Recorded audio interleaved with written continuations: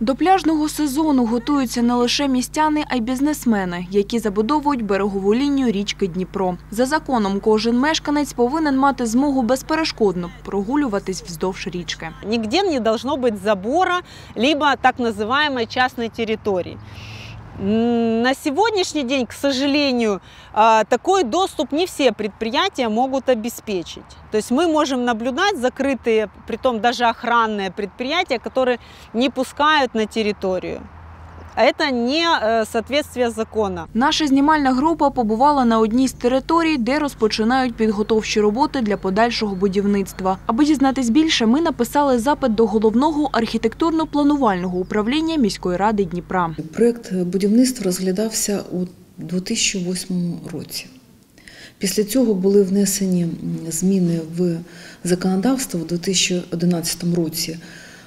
Вийшов закон про регулювання містобудівної діяльності. Згідно з діючого законодавства, документи ці підлягають коригуванню. Перед будівництвом мають проходити громадські слухання, але їх не завжди ініціюють. Громадські слухання передбачені на цей час ем, чинним законодавством лише для містобудівної документації.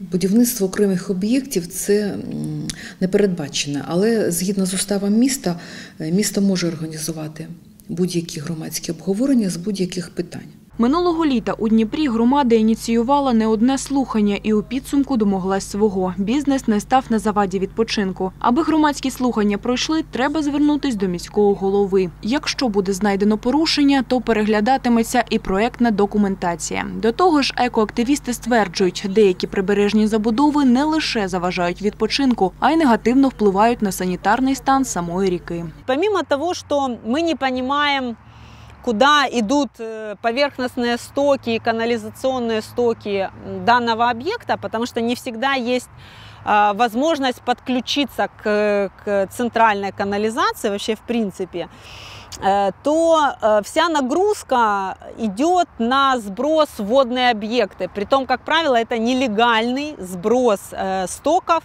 в водный объект. Це також впливає і на цвітіння річки. Подекуди вона починає зеленіти вже у травні, а до середини літа неприємно тхне. Дніпро значно звузився та втратив деякі види риб. Екоактивісти впевнені, якщо все кинути на призволяще та не приймати необхідних заходів щодо поліпшення ситуації, через 100 років ми можемо втратити головну водну артерію області. Олександра Євдокимова, Микола Худолій. Новини 51-го.